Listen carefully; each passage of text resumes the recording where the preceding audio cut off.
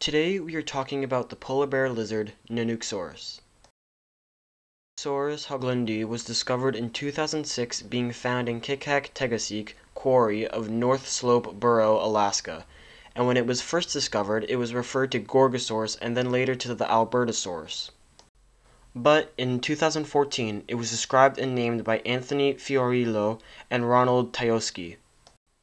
The first fossils found of Nanuqsaurus was some fragments of the skull and its bottom jaw, with paleontologists reconstructing the skull to what it could possibly look like, where the length of the skull is estimated to be about 24 to 28 inches.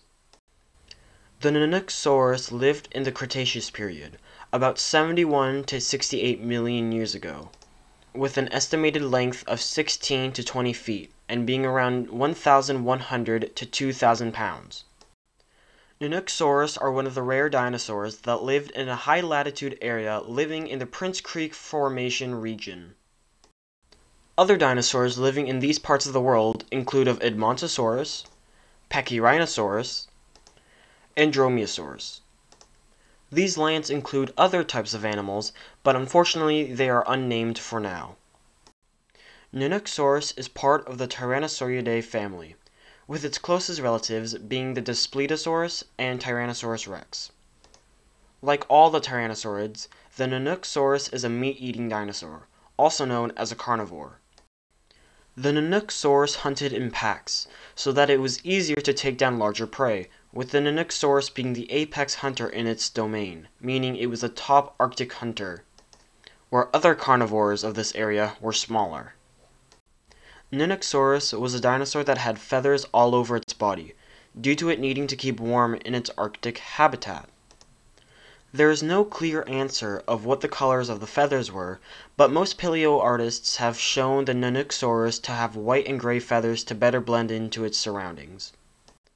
The Nanuqsaurus had evolved into a smaller size due to the decrease of food supply over the year caused by the colder climate, making it more difficult to hunt whereas dinosaurs like the Dromaeosaurus would have it easier because of not needing to eat that much. The climate in the Arctic was likely a polar woodland lacking ice. During the cold months, the temperature would be 2 to 4 degrees Celsius, where the warmer months would be 10 to 12 degrees Celsius. The dinosaurs living in the Prince Creek Formation would most likely have had 120 days of cold winter darkness. And that is the end of this reviewing dinosaurs episode. Um, it was it was a shorter one. It was definitely shorter than the Triceratops episode, but uh, that's because there's more information, obviously, about Triceratops, where there is less information about the uh. But um, other than that, if you enjoyed the video, make sure to leave a like on this video as well as subscribing. Make sure to turn on the post notifications bell so it reminds you when another Reviewing Dinosaurs episode comes out or uh, just any of my content in general.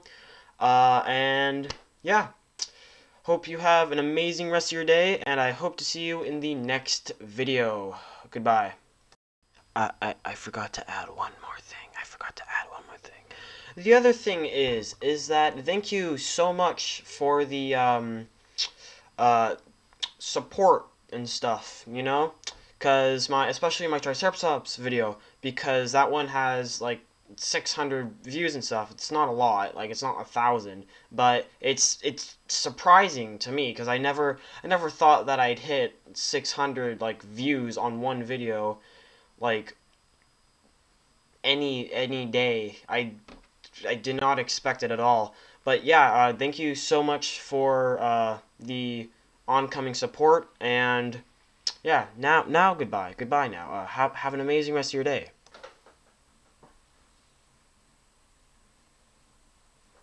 Did you think that that was the end of the video? Cause you'd be wrong. Now it's the end of the video.